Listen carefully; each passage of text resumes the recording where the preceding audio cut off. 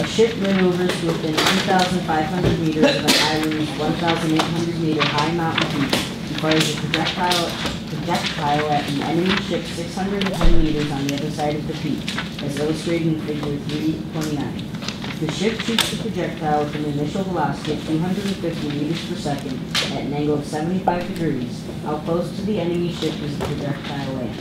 How close vertically does the projectile come to the peak? So, we know our ship, I, by the way, I prefer sailboats. Our ship is 2,500 meters in front of the peak horizontally. The other ship is 610 meters on the other side of the island horizontally. The peak of the island has a, um, a height of 1,800 meters. We have an initial velocity. So we're launching this projectile at 250 meters per second at an angle of 75 degrees above the horizontal. So the, the projectile does something that looks like this. There are two questions. Part A, how close to the other ship does our projectile land? Visually illustrated right there.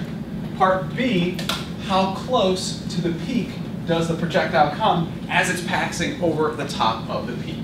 So those are the two things we're solving for, those two distances, A and B. In order to solve for how far our projectile lands from the other ship, what's our general approach? Tina?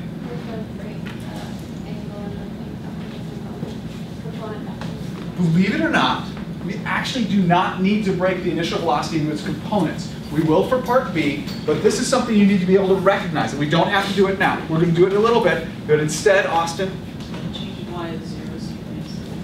this is a specific example for part A where we could use the range equation because remember the displacement in the y direction is zero.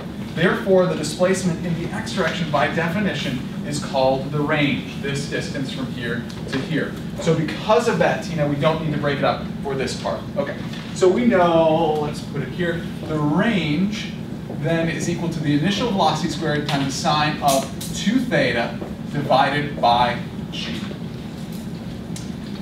Okay, working forward, please, Taylor.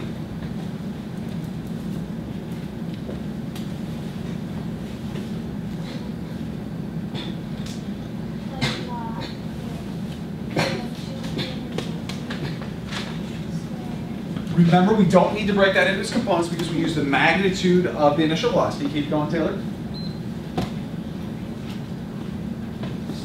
Sine of 2 theta.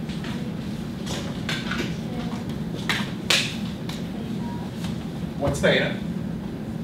Um, so sine of 2 times 75 degrees divided by negative 9.8 meters per second squared. Little g, the acceleration due to gravity, is negative 9.8 meters per second squared. Are you positive it's positive? Do we have to sing the song again, Taylor? Yes. No. Yes.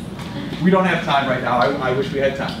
Remember, please, that g is a positive number, 9.8 meters per second squared. Therefore, we can figure out the range. Could I please have the range?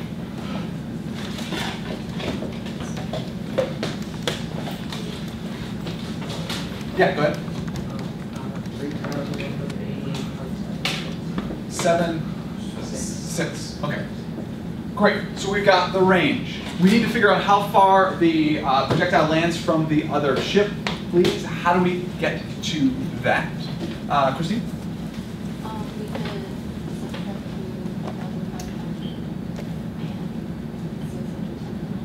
You could see visually that the range is going to be equal to 2,500 plus our 610 plus whatever we want, whatever we need for our answer A. So answer A then, this distance is going to be equal to the range minus the 2,500 minus the 610, or 3,188.76 minus the 2,500 minus the 610.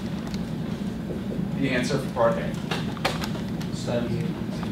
I'm sorry, 78.76. So with sig figs, 79 Great. So we figured out how far the ship lands, or the projectile lands from the other ship. Again, you got to identify when you can use the range equation. Part B. James. What are you doing?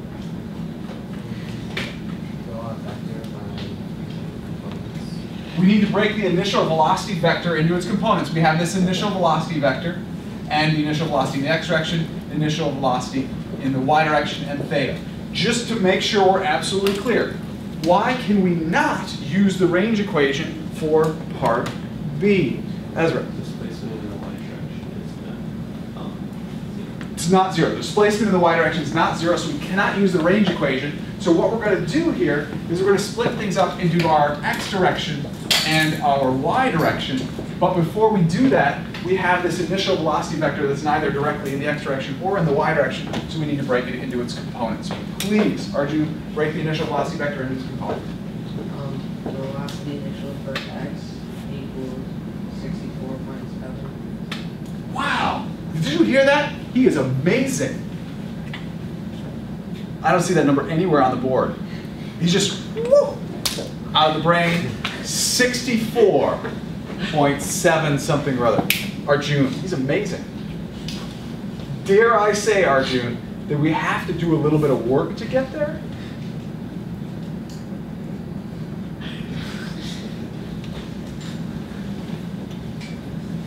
You don't want to fall down the stairs. It's ugly. Arjun, where do we start?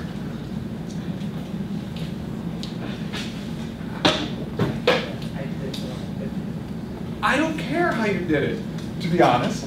I want to know how we're going to do it. Here's the thing, Arjun. Right now, you're not able, able to follow what you've done. That's not good, is it? No, that's not good because you're not really showing your work. That's sad. Megan, Um, you draw a triangle, and it is 45 degrees, so it's Oh, it's 75? Oh, sorry. sorry, 75 degrees. And then you use uh, trigonometry to find each uh, velocity. So you start by labeling the hypotenuse as B squared plus B squared.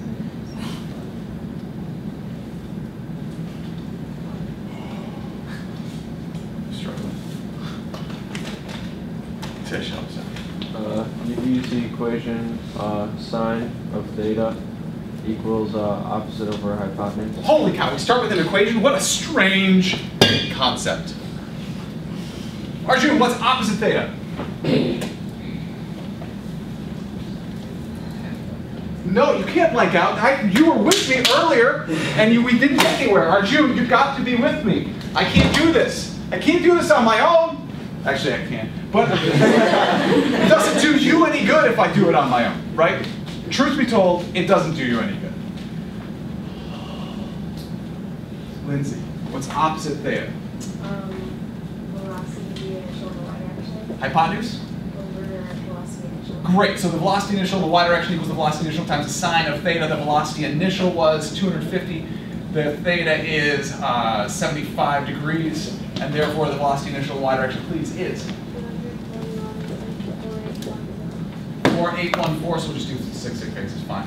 Meters per second. We can do the same thing with cosine. Cosine of theta equals adjacent over hypotenuse. The velocity initial in the x direction divided by the velocity initial, therefore the velocity initial in the x direction equals the velocity initial times the cosine of theta, or 250 times the cosine of 75 degrees. Therefore the velocity initial in the x direction equals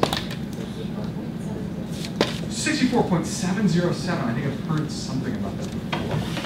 So we figured out the velocity initial in the x direction. It is 64.707 meters per second. The velocity initial in the y direction, which is equal to 241.481 meters per second. Great.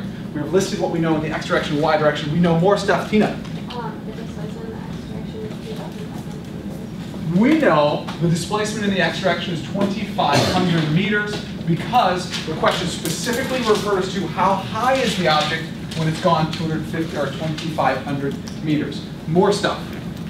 Sure. Uh, acceleration in the y direction is by good meters per second squared. What are we trying to find? True, we need to find time. But before we talk about time, what are we actually trying to find in the problem? David. B. Yes. Uh, how far the projectile goes over the mountain. B. In order to find B, how far the projectile is over the mountain, Tina, we need to find we need to find the displacement in the y direction. Because yes, eventually we're trying to find b in order to do so. We need to figure out the displacement, bless you, in the y direction, which is going to be all the way from there to there. Why are we figuring out time? Why time? Maxim? Because it's a scalar and it can be used for both the x direction and y direction. Because time is a scalar, it's independent direction used in the x and y direction. Where are we going to start to figure out the change of time here? Or how are we going to figure out change of time? David?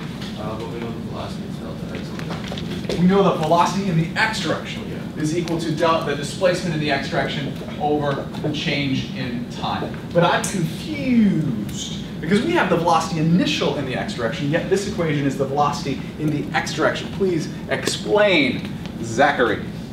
Um, the velocity in the x direction doesn't change. So velocity initial equals the velocity in the x direction. Remember, you're at a constant velocity in the x direction, so the initial velocity is the final velocity. The velocity in the middle is just the velocity in the x direction. Great. We're solving for the change in time. I'll do that one this time. We multiply both sides by the change in time. Change in time cancels out. We get the change in time multiplied by the velocity in the x direction equals the displacement in the x direction. We divide both sides by the velocity in the x direction. The velocity in the x direction cancels out on the left-hand side. We get the change in time is equal to the displacement divided by the velocity in the x direction. It's just algebra. So, change in time. Displacement in the x direction, 2,500 divided by the velocity in the x direction, which we got to be 64.707 through the magic of trig. Therefore, we get the change in time.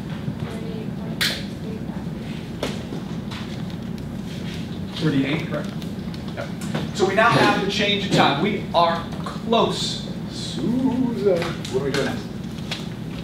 Um, use the time that, uh, that is the, the, yeah, yeah.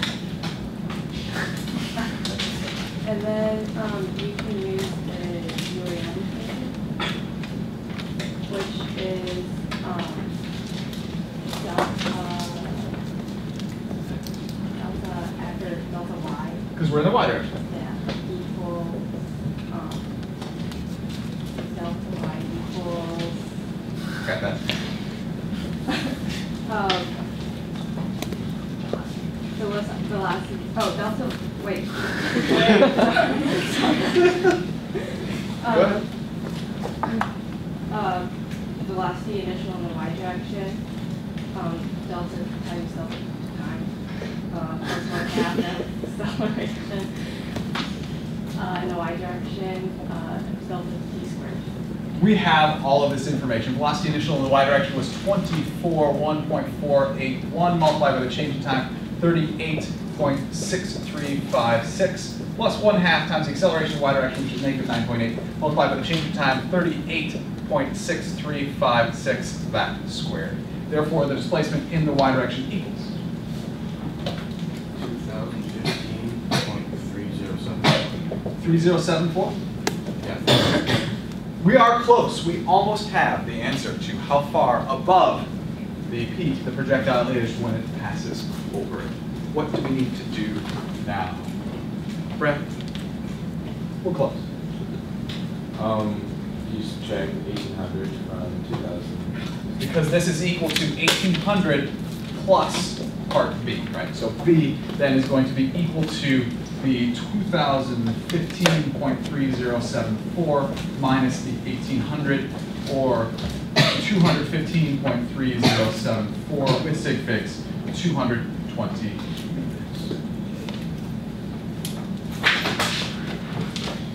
Brief review, picture helpful. Identifying the displacement in the y direction being equal to zero, so you can reuse the range equation, very helpful. Projectile motion. First, we're going to break the initial velocity into its components so we can list what we know in the x direction, y direction. Solving for time so we can use it in the other direction. Basic idea.